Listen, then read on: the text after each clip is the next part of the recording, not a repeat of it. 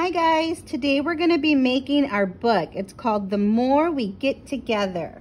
For this, you're gonna need your scissors and you're gonna need some crayons. This is what it's gonna look like when you get it. There's different pages. You have to cut on the lines and then mommy or daddy might help you staple it or cut it if you need help. When we're done, this is what your book will look like. In our book, we already colored it. We used our crayons and we made all different colors throughout our pages. So let's read our book. It's called The More We Get Together. The more we get together, together, together, the more we get together, the happier we'll be. For your friends are my friends, and my friends are your friends. The more we get together, the happier we'll be. The end.